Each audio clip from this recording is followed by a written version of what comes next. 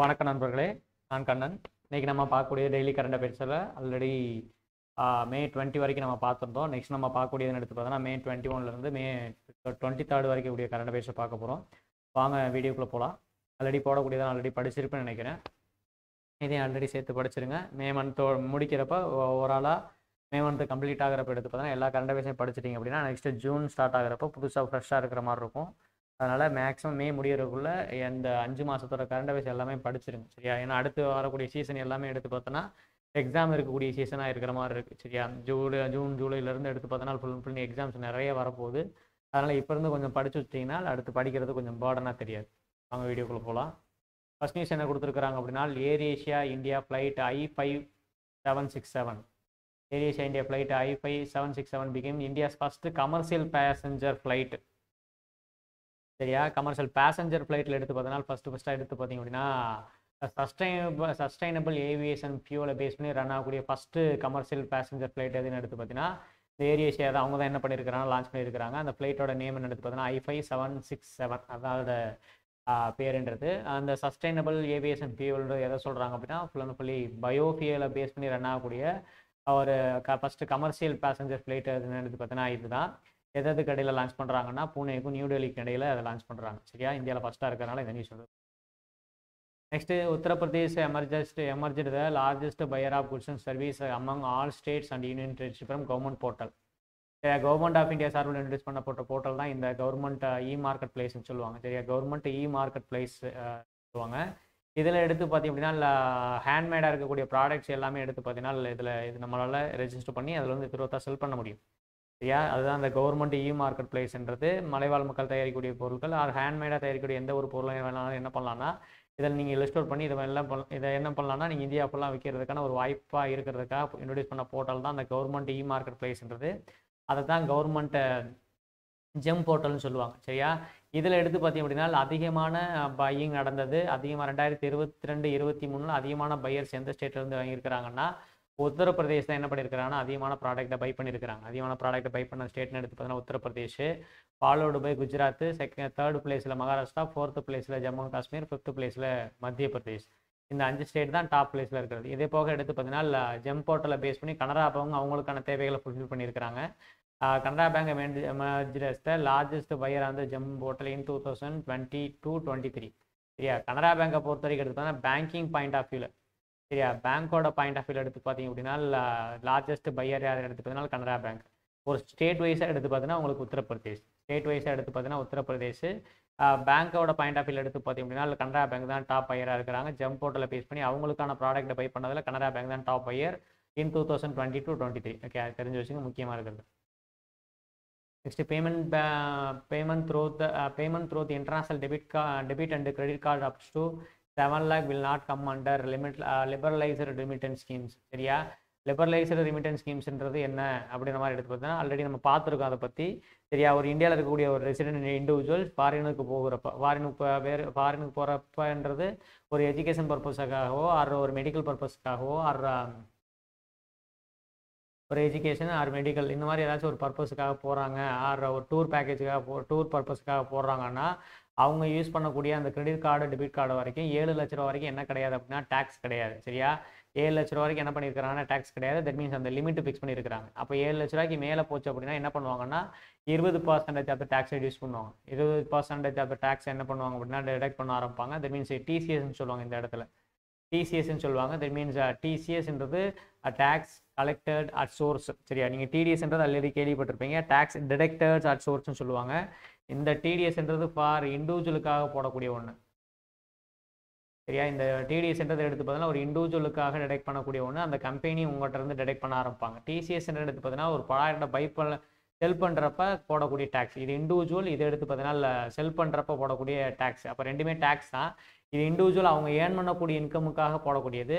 இந்த டிசிஎஸ் எடுத்து பார்த்தீங்கன்னா ஒரு ப்ராடக்ட் பர்பஸுக்கு ப்ராடக்ட்டுக்காக போடக்கூடிய ஒன்றா இருக்கும். சரியா? இப்போ நீங்கள் ஒரு டூர் பேக்கேஜ் இது பண்ணுறீங்க இங்கேருந்து வெளிநாடுகள் ஒரு டூர் பேக்கேஜ் யூஸ் யூஸ் பண்ணுறீங்கன்னா அது மூலமாக நீங்கள் ஒரு கிரெடிட் கார்டு யூஸ் பண்ணுறீங்கன்னா அதில் வந்து என்ன பண்ணுவாங்கன்னா உங்களுக்கு அந்த டிசிஎஸ்ன்ற ஒன்று டிடெக்ட் பண்ணுவாங்க. டிசிஎஸ்ன்றது எங்கே டிடெக்ட் பண்ணுவாங்கன்னா உங்களுக்கு அந்த அந்த டூர் பேக்கேஜ் ரெடி பண்ணக்கூடிய இன்ஸ்டியூஷனோ ஆர் வெளிநாடுகளுக்கு நீங்கள் போக்குவரத்துக்கு டிக்கெட் போடக்கூடிய அந்த இன்ஸ்டியூஷனோ யார் வேணாலும் என்ன பண்ணுவாங்கன்னா அந்த அமௌண்ட்டை அவங்களுக்கு டிடெக்ட் பண்ண ஆரம்பிப்பாங்க. அது எவ்வளோ பர்சன்டேஜ் அப்படின்னா இருபது பர்சன்டேஜ் வரைக்கும். அப்போ நீங்கள் கிரெடிட் கார்டு டெபிட் கார்டை பேஸ் பண்ணி இன்டர்நேஷனல் லெவலில் நீங்கள் யூஸ் பண்ணீங்கன்னா உங்களுக்கு போடக்கூடிய டேக்ஸோட பர்சன்டேஜ்னு எடுத்து பார்த்தா டுவெண்ட்டி பர்சன்டேஜ் அது ஏழு லட்ச ரூபாய்க்கு உள்ளே வரந்துச்சு அப்படின்னா டேக்ஸ் கிடையாது. ஏழு லட்ச ரூபாய்க்கு மேலே போச்சு அப்படின்னா இருபது பர்சன்டேஜ் வரைக்கும் என்ன பண்ணுவாங்க? டேக்ஸ் போடுவாங்க. அதான் சொல்லியிருக்காங்க the government announced that all international credit card spending outside of India இந்தியாவை தவிர நீங்கள் வெளிநாடுகளில் கிரெடிட் கார்டை யூஸ் பண்ணுறீங்கன்னா உங்களுக்கு போடக்கூடிய டேக்ஸ்ன்றது எவ்வளோ அப்படின்னா இருபது பர்சன்டேஜ்ன்ற மாதிரி முன் வச்சிருப்பாங்க. சரியா? இருபது பர்சன்டேஜ் இப்போ இந்த லிபரலைஸ்டு ரிமிட்டன்ஸ் ஸ்கீம்ஸுக்கு கீழே ஒரு என்ன பண்ணுறாங்கன்னா அஞ்சு பர்சன்டேஜ்லேருந்து இருபது பர்சன்டேஜ் வரைக்கும் டேக்ஸ் போடுறாங்க. அஞ்சு பர்சன்டேஜ்லேருந்து இருபது பர்சன்டேஜ் வரைக்கும் டேக்ஸ் போடுறாங்க. அது என்னென்னா அதான் சொல்லியிருக்காங்க liberalised remittance scheme is introduced by RBI as as மெ minister to facilitate resident individual to freely remit அன்ஸ் up to two point five lakh US dollar outside in India financial ஒரு financial இயரில் ரெண்டு லட்சம் யூஎஸ் டாலருக்கு மேலே நீங்கள் out side of இந்தியாவில் நீங்கள் ஸ்பெண்ட் பண்ணீங்க அப்படின்னா அவுட் சைட் ஆஃப் இந்தியாவில் நீங்கள் ஸ்பெண்ட் பண்ணலாம். அதுக்காக இன்ட்ரடியூஸ் பண்ணப்பட்ட ஸ்கீம்ஸ் தான் இந்த லிபரலைசடு ஸ்கீம்ஸ் அப்போ இந்த ரெண்டு லட்சம் டாலருக்குள்ளே தான் நீங்கள் இந்த இன்டர்நேஷனல் லெவலில் போகக்கூடிய எந்த ஒரு டூர் டூர் பர்பஸோ ஒரு எரிகே ஒரு எஜுகேஷன் பர்பஸோ ஒரு மெடிக்கல் பர்பஸோ ரெண்டு லட்ச ரூபா வரைக்கும் என்ன பண்ணுறாங்க அப்படின்னா அந்த அமௌண்ட்ன்றதை அவங்க அலோவ் பண்ண ஆரம்பிச்சிருக்காங்க. ரெண்டு லட்சம் யூஎஸ் டாலர் வரைக்கும் என்ன பண்ணியிருக்காங்கன்னா அமௌண்ட்டை அலாட் பண்ண ஆரம்பிச்சிருக்காங்க இது ஏழு இதில் ஏழு லட்ச ரூபா வரைக்கும் நீங்கள் ஸ்பெண்ட் பண்ணுறீங்க கிரெடிட் கார்டை யூஸ் பண்ணி டெபிட் கார்டை யூஸ் பண்ணி ஸ்பெண்ட் பண்ணுறீங்க ஸ்பெண்ட் பண்ணுறீங்கன்னா உங்களுக்கு போடக்கூடிய டேக்ஸ்ன்றது இருபது பர்சன்டேஜ் தென் மீன்ஸ் உங்களுக்கு போடக்கூடிய அந்த டேக்ஸ்ன்றது டிசிஎஸ் டேக்ஸ் கலெக்டட் அட் சோர்ஸ்னு சொல்லுவாங்க. சரியா? இதில் வந்து எடுத்து பார்த்தீங்கன்னா நீங்கள் ஒரு எஜுகேஷன் பர்பஸுக்காக ஒரு எஜுகேஷன் லோன் வாங்கிட்டு நீங்கள் வெளிநாடுகளில் போய் படிக்கிறீங்கன்னா உங்களுக்கு போடக்கூடிய டேக்ஸ்ன்றது எவ்வளோனா அஞ்சு பர்சன்டேஜ் சரியா? எஜுகேஷன் லோன் வாங்கி படிக்கிறீங்கன்னா உங்களுக்கு போடக்கூடிய பர்சன்டேஜ்ன்றது அஞ்சு பர்சன்டேஜ் இது வந்து மோர் தென் செவன் லேக் ஏழு லட்ச ரூபாய்க்கு மேலே உங்களோட லிமிட் போச்சுன்னா ஏழு லட்ச ரூபாய்க்கு மேலே போச்சுன்னா உங்களுக்கு அஞ்சு பர்சன்டேஜ்ன்றது டேக்ஸ் டிடெக்ட் பண்ண ஆரம்பிப்பாங்க. சரியா?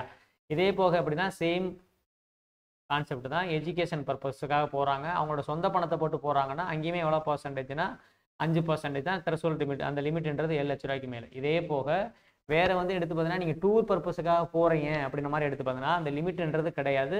நீங்கள் எவ்வளோ ஸ்பெண்ட் பண்ணாலும் சரியா? அந்த ஏழு லட்ச ரூபான்றது லிமிட் கிடையாது. எஜுகேஷன் பர்பஸுக்காக மட்டும் அவங்க ஏழு லட்ச ரூபா எஜுகேஷன் பர்பஸை மட்டும் அவங்க என்ன பண்ணுறாங்கன்னா ஏழு லட்ச ரூபா வரைக்கும் சொல்லியிருக்கிறாங்க. இதுக்கு மேலே சப்போஸ் டூ டூர் பர்பஸுக்காக நீங்கள் போகிறீங்க அப்படின்னு எடுத்து பார்த்தீங்க அப்படின்னா அதுக்கு இந்த ஏழு லட்ச ரூபான்றது லிமிட் கிடையாது. அவங்க இனிஷியலாகவே நீங்கள் எவ்வளோ ஸ்பெண்ட் பண்ணுறீங்களோ அதில் இருபது பர்சன்டேஜாக கண்டிப்பாக என்ன பண்ணுவாங்கன்னா டேக்ஸாக டிடெக்ட் பண்ண ஆரம்பிப்பாங்க ஓகே தெரிஞ்ச வச்சுங்க இதுதான் ஆக்சுவலாக அந்த நியூஸில் சொல்லியிருப்பாங்க. ஒரு சில பேருக்கு புரிஞ்சிருக்காம இருந்திருக்காது. இப்போ ஓரளவு கிளாரியா கிளாரிஃபை ஆயிருக்குன்னு நினைக்கிறேன். ஓகே தெரிஞ்சு வச்சுங்க இன்னொன்று வந்து டிசிஎஸ்க்கும் டிடிஎஸ்க்கும் உள்ள அந்த difference okay next national anti டெர national anti terrorism day May twenty one ஒவ்வொரு வருஷம் நேஷனல் ஆன்டி டெரரிசம் செலிப்ரேட் பண்ணுவாங்க செலிப்ரேட் பண்ணுவாங்க அப்படின்னா prime minister of Rajiv Gandhi இந்தியாவோட பிரைம் மினிஸ்டராக இருந்த மிஸ்டர் ராஜீவ் காந்தியோட டெத் அனிவர்சரியை தான் ஒரு வருஷம் என்ன பண்ணுறாங்க அப்படின்னா ஆன்டி டெரரிசம் ஆன்டி டெரரிசம் டேவாக என்ன பண்ணுறாங்க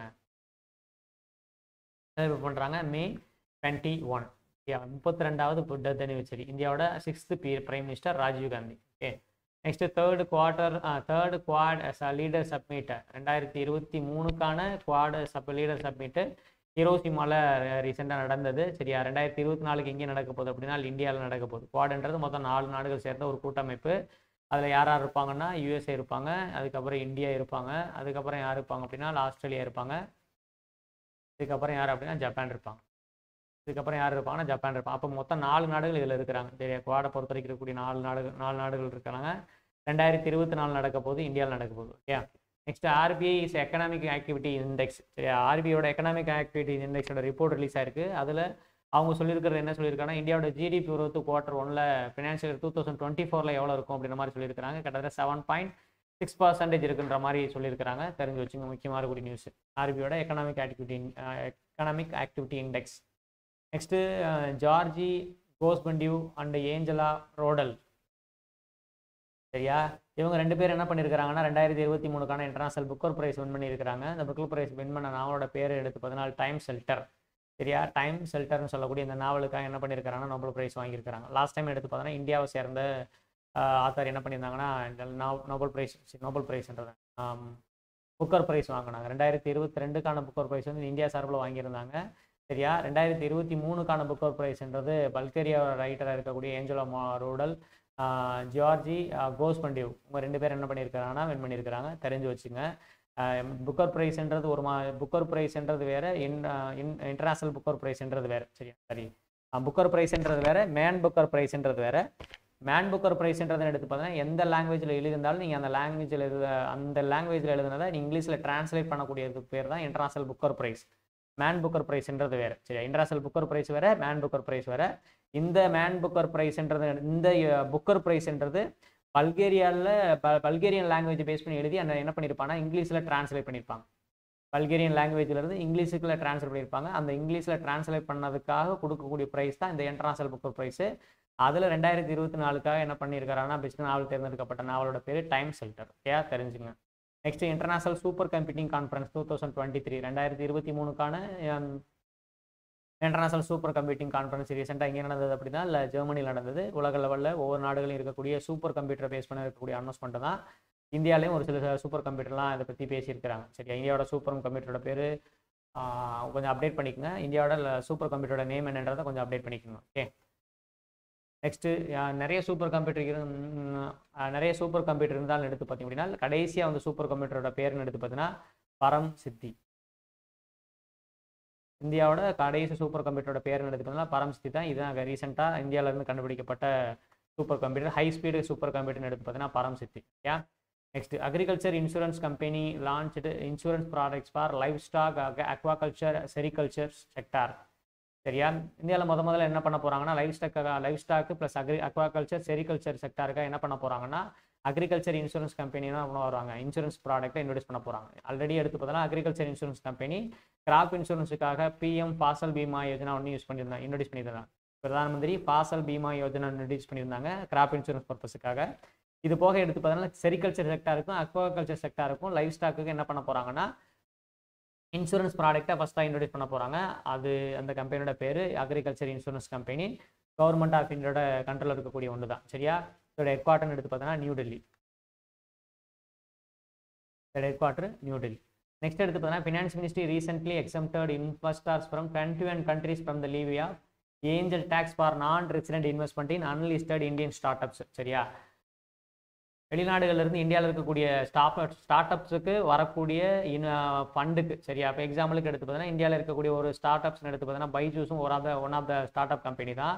இந்த ஸ்டார்ட் அப் கம்பெனி இவங்களோட பிஸ்னஸை டெவலப் பண்ணுறதுக்காக ஃபாரின்லேருந்து ஃபண்டு கலெக்ட் பண்ணுறாங்க ஃபாரின்லேருந்து கண்டு ஃபண்டு கலெக்ட் பண்ணுறாங்க ஃபாரின்லேருந்து ஃபண்டு கலெக்ட் பண்ணுறாங்கன்னா கவர்மெண்ட்டை பொறுத்த வரைக்கும் என்ன எடுத்து பார்த்தீங்கன்னா அது வந்து இன்கம் கவர்மெண்ட்டை பொறுத்த வரைக்கும் எடுத்து பார்த்தீங்கன்னா அது வந்து என்னவா கால்குலேட் பண்ணுவாங்கன்னா இன்கமாக கால்குலேட் பண்ணுவாங்க. சப்போஸ் இப்படி இன்கமாக கால்குலேட் பண்ணுறதுக்கு என்ன பண்ணுறாங்கன்னா கவர்மெண்ட் சார்பில் டேக்ஸ் போடுறாங்க. அப்படி போடக்கூடிய டேக்ஸுக்கு பேர் தான் என்ன டேக்ஸ்னா ஏஞ்சல் டேக்ஸ் அப்போ ஏஞ்சல் டேக்ஸ்ன்றது யாருக்காக போடக்கூடியது அப்படின்னா newly start new start up கம்பெனிஸ்க்காக போடக்கூடியதான் இந்த ஏஞ்சல் டேக்ஸ்ன்றது அந்த ஏஞ்சல் டாக்ஸ்ன்றது நியூ ஸ்டார்ட் அப் கம்பெனிஸ் மட்டுமே கிடையாது. அவங்களோட ஓன் இன்வெஸ்ட்மெண்ட் கிடையாது. ஃபாரின்லேருந்து வரக்கூடிய இன்வெஸ்ட்மெண்ட்டுக்கு போடக்கூடிய டேக்ஸு. சரியா? அதில் என்ன பண்ணியிருக்கிறாங்கன்னா கிட்டத்தட்ட எக்ஸம்ஷன் கொடுத்துருக்குறாங்க. அந்த இருபத்தி ஒரு நாடுகள்லேருந்து இந்தியாவில் இருக்கக்கூடிய ஸ்டார்ட் அப் கம்பெனிஸ்க்குள்ள இந்த இருபத்தோரு நாடுகள்லேருந்து இந்தியாவுக்குள்ள ஸ்டார்ட் அப் கம்பெனிஸ்க்கு ஃபண்டு வந்துச்சு அப்படின்னா அந்த ஃபண்டுக்கு எந்த ஒரு டேக்ஸும் கிடையாது. இட் மீன்ஸ் எத்தனை கண்ட்ரிஸ் வந்து ஏஞ்சல் டேக்ஸ் வந்து எக்ஸம்ஷன் கொடுத்துருக்குறாங்க? அப்படின்ற மாதிரி எடுத்து பார்த்தா மொத்தம் இருபத்தோரு கம்பெனிஸுக்கு என்ன பண்ணியிருக்காங்கன்னா டேக்ஸ் எக்ஸம்ஷன் கொடுத்துருக்காங்க சரியா? தெரிஞ்சு வச்சுங்க. அப்போ ஏஞ்சல் டேக்ஸ்ன்றது என்ன பர்பஸ் அப்படின்னா ஸ்டார்ட் அப் கம்பெனிஸுக்கு பர்பஸ் அந்த ஸ்டார்ட் அப் கம்பெனிஸுக்கு வரக்கூடிய ஃபாரின் இன்வெஸ்ட்மெண்ட்டுக்கு போடக்கூடிய டேக்ஸ் சரியா? தெரிஞ்சுக்கணும் நெக்ஸ்ட் சிஏயோட பிரசிடென்ட் கான்ஃபெடரே confederation of Indian இண்டஸ்ட்ரியோட president that means R Dinesh R Dinesh தான் கான்ஃபெடரேஷன் ஆஃப் இந்தியன் இண்டஸ்ட்ரியோட நியூ பிரசிடெண்டாக தேர்ந்தெடுக்கப்பட்டிருக்கிறார். ஓகேங்களா? தெரிஞ்சு வச்சுக்கோங்க. சிஏன்றன்னு எடுத்து பார்த்தீங்கன்னா இந்தியாவில் இருக்கக்கூடிய இண்டஸ்ட்ரியோட குரோத்துக்காகவும் அவங்களுக்கு கொடுக்கக்கூடிய ஒரு சில சஜஷன்ஸ்க்காகவும் கவர்மெண்ட் சார்பில் ஒரு சில ஐடியாஸ் கொடுக்குறதுக்காக உருவாக்கப்பட்ட ஒரு நான் கவர்மெண்டல் பாடி தான் இது. சரியா? இது கவர்மெண்ட் பாடி கிடையாது. ஒரு நான் கவர்மெண்ட் பாடி தான். இவங்க இண்டஸ்ட்ரியல் செக்டாரோட குரோத்தை அதோட என்விரான்மெண்டலாக சக்ஸஸாக பண்ணுறதுக்கு சக்ஸஸ்ஃபுல்லாக கொண்டு போய் சேர்க்கறதுக்காக ஒரு அட்வைஸாக என்ன பண்ணுவாங்கன்னா கவர்மெண்ட்டுக்கு கவர்மெண்ட்டுக்கு ஒரு சில அட்வைஸ் கொடுக்க ஆரம்பிப்பாங்க. அதுதான் இது. கான்ஃபெடரேஷன் இந்தியன் இண்டஸ்ட்ரியோட பிரசிடென்ட் ஆர் தினேஷ். சரியா? தெரிஞ்சு வச்சுங்க. வேறு எதுவும் இல்லை. இதோட எடுத்து பார்த்தோன்னா இந்த செஷன்றது முடிஞ்சு டுவெண்ட்டி ஒன் டு டுவெண்ட்டி த்ரீக்கான கரண்ட் அவேர்ஸ்ன்றது இதோட கம்ப்ளீட் ஆயிருச்சு. சரியா? வீடியோஸ் பிடிச்சிருந்துச்சுன்னா லைக்ஸ் பண்ணுங்கள் உங்களோட ஃப்ரெண்ட்ஸுக்கு ஷேர் பண்ணுங்கள் சரியா? கண்டிப்பாக அரவடுத்து வரக்கூடிய எல்லா எக்ஸாம்ஸ்க்குமே உங்களுக்கு ரொம்ப யூஸ்ஃபுல்லாக இருக்கும். கரண்ட் அஃபேர்ஸ்ன்றது இவ்வளோ சிம்பிளான்றது நீங்கள் இந்த வீடியோ பார்த்து தெரிஞ்சுக்கிட்டீங்கன்னா இதுக்கு இவ்வளவு சிம்பிளான்றது உங்களுக்கே புரிய வர ஆரம்பிக்கும். அதனால் உங்களோட ஃப்ரெண்ட்ஸுக்கு ஷேர் பண்ணுங்கள் வீடியோஸ் பிடிச்சிருந்தால் லைக்ஸ் பண்ணுங்கள் அடுத்த வீடியோவில் அடுத்த செஷனில் பார்க்கலாம். தேங்க்யூ